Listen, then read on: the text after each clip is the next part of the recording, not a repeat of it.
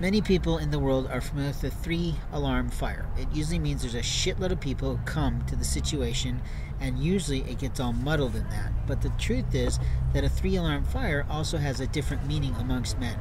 And generally speaking, that means that that girl is so hot that it takes a lot of firemen to cool her off. Now, that does not mean anything pornographic, please. I am a pagan priest and I'm madly in love with three women. Now, is that wrong? Is that immoral? Is that something I should be concerned with right now? The answer is no, because I'm celibate, waiting for the one who's ready to go. The point is that because I love these women, I've become something. My late spouse was the inspiration for everything I did in my Japanese house, Japanese classroom, and Japanese business. She was the purpose and the purpose behind me developing that classroom because she and my son were not going to be left behind in my business. A family business is just that.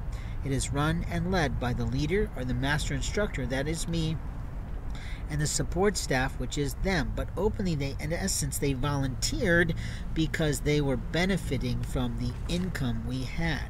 Now, is that wrong? No.